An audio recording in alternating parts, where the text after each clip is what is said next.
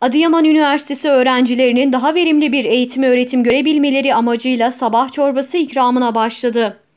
Öğrencilerin derse aç karnına girmemesi ve motivasyonlarının artması için Üniversite 2 Nolu Nizamiye giriş kapısında hafta içi her gün sabah 7.30 ila 9.00 saatleri arasında ücretsiz çorba ikramı yapılacak. Adıyaman Üniversitesi Yemekhanesi'nin deneyimli aşçıları tarafından hazırlanan çorbanın sıcak bir şekilde günde en az 1000 öğrenciye ikram edilmesi planlanıyor.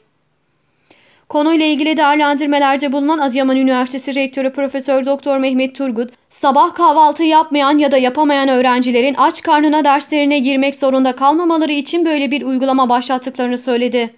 Üniversitelerin öğrencileri ile var olduğunu belirten Turgut, yalnızca eğitim, öğretim ve araştırma olarak değil, öğrencilerimizin barınmasından ulaşımlarına, sosyal ve kültürel faaliyetlerine kadar birçok konuda sorumluluklarımız var.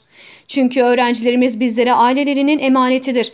Emanete iyi bakmamız gerekiyor. Birçok öğrencimiz sabah kahvaltısı yapmadan okula geliyordu. Bunun önüne geçmek adına evlatlarımıza hafta içi her sabah çorba ikramında bulunacağız dedi.